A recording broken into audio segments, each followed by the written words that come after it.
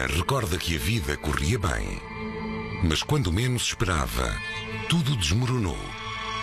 O meu filho, passado uh, com 4 anos e 10 meses, uh, fomos a Albufeira, com o meu marido é da Albufeira, fomos a, a um casamento de uma cunhada minha e o menino uh, foi para cima de uma cisterna. O menino caiu e bateu com a cabecinha numa pedra. O meu menino foi da ambulância para Lisboa, mas não resistiu. Não resistiu.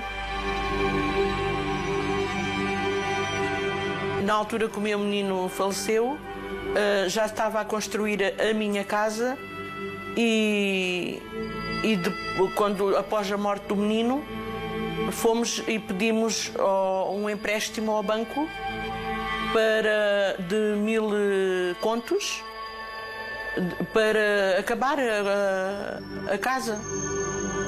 Conta que passados sete anos e já com a casa nova construída, teve a felicidade de voltar a ser mãe. E pronto, foi, foi muito difícil a, a criar aquele menino. criei com todo, com todo o medo.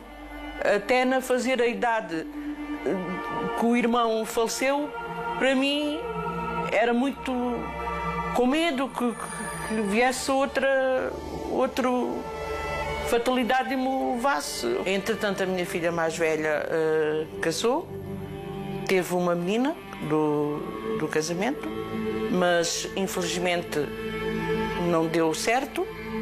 A minha filha separou-se. Uh, entretanto, a minha filha uh, arranjou um outro companheiro. Foi viver, foram viver para para a minha casa, na parte de cima, uh, e correr tudo bem. A filha e o novo companheiro ficaram a viver na parte de cima da casa da nossa convidada e todos começaram a reorganizar a vida. Porém, nessa mesma altura, Delfina recebe do banco uma informação que não esperava.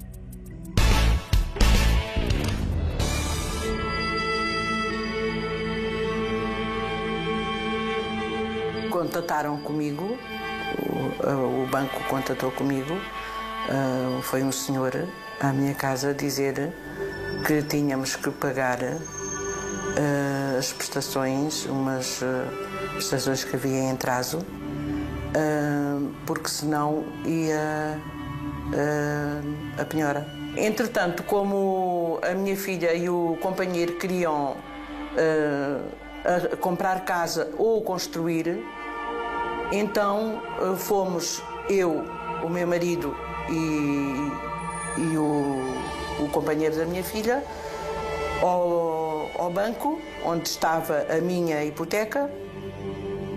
E entre o banco e o, o companheiro da minha filha, eu e o meu marido, fizemos um acordo de eu uh, fazíamos-lhe uma venda uh, fictícia ele uh, pediu, uh, mais ou menos fizeram, viram mais ou menos quanto é que precisavam para construir por cima, o primeiro andar, e, e pediram, pediu uh, eh, 12.500 contos.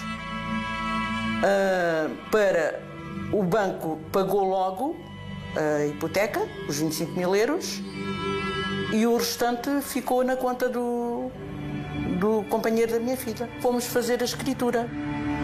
Delfina garante que, apesar dos problemas em casa, ao longo dos anos ajudou o companheiro da filha a pagar a prestação do empréstimo bancário.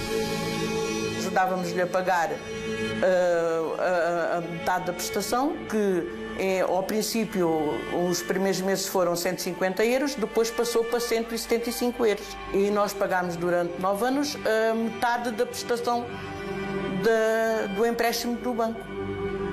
E pagava, e pagava os IMIs, eu pagava os IMIs, mas cá está, não tenho, não tenho provas porque era tudo no nome dele. Delfina conta que se o ambiente familiar já não era bom, piorou quando a filha saiu de casa e terminou a relação com o companheiro. Entretanto, pôs mais um despejo e tivemos que sair, ir entregar a chave viemos para a rua em 2015, março. no final de março de 2015. E apesar dele dizer que foi o tribunal que me pôs na rua e que me pagou os 12.500 contos. Comprou tudo, onde não é verdade. Sabe muito bem que não é verdade. Eu quero ir à máquina da, da verdade para provar que não o, o, o, companheiro da minha filha não me pagou o justo do preço da minha casa, não pagou o preço, o dinheiro que ele diz que pagou. Para provar que foi enganada pelo ex-companheiro da filha, esta mulher submete-se agora à máquina da verdade.